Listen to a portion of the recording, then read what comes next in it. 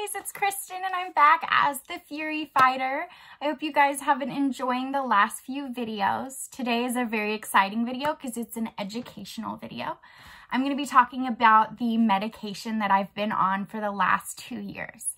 So all throughout my Crohn's journey, I have tried many different medications, a lot of them being biologics, and the medications did not work for my body all patients are different with their medications. I'm not a nurse. I'm just talking to you guys about my experience getting the medication at home and kind of how it has worked to help bring my body into remission. So I started on Cimzia, like I said, two years ago. It is a biologic medication.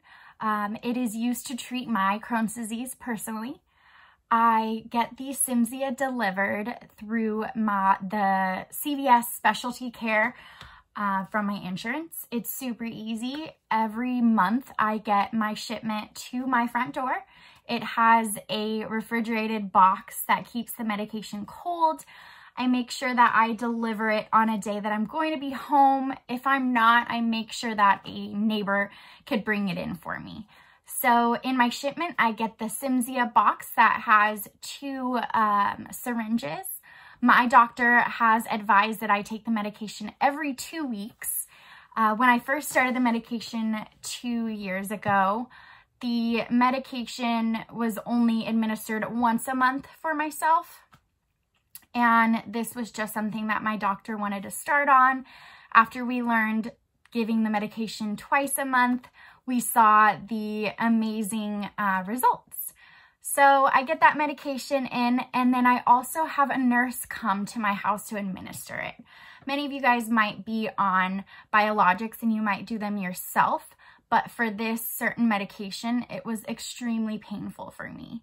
So it's not the initial needle that's painful, but it's the medication when it goes into my body. So what my doctor decided to do was to write a script for lidocaine. So that kind of helped me out in getting my nurse approved through insurance that because lidocaine has to be given from a registered nurse and that is how I get it at home. So I get my lidocaine, I get my syringes, and I get my Cimzia, and my nurse comes every two weeks. So when my nurse comes, we talk a little bit. We're actually really close we just make sure that, I make sure that I take the medication out 30 minutes before that she's coming.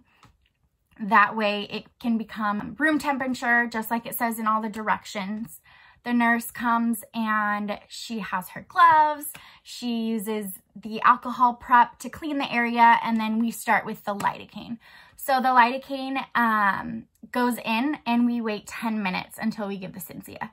So she gives the injections in my um, butt cheek. It's in, it's kind of higher, but the three places I believe I was told that Cimzia can go in is your thigh, your stomach, and your bottom. This might be different, but I know I have tried my leg and then also my bottom and it's so much less painful there.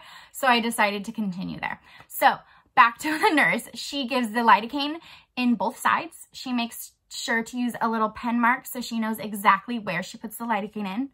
In that time that we're waiting for the 10 minutes, she has paperwork to fill out that I sign. But in that time, we are catching up because we're close. In the video, you can see that we filmed. She was super cool about it. After that lidocaine, we started with the Cimzia. In the past, there were times that the lidocaine didn't work, very, very few, but it's always really saddening to see the nurse and she she gets sad and she she's like, it's my fault. And I said, no, sometimes it just happens, but I'm super lucky to have her. So after the Cimzia is done, she uses the alcohol again. Sometimes it bleeds. This is normal that she told me and sometimes she'll put band-aids on it and then sometimes I'm just good to go.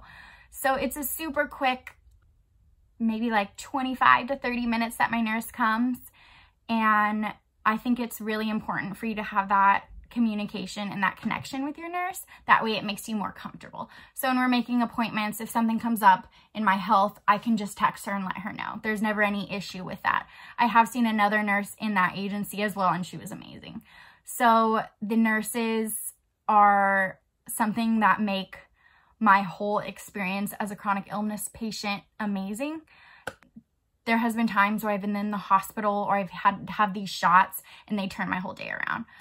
Cimzia can be done by yourself though, so you may do that now. You may have Remicade or other biologics and you do them at home. But I want to share my little experience because I know a lot of you guys may start on a new biologic. You may not want to do them by yourself.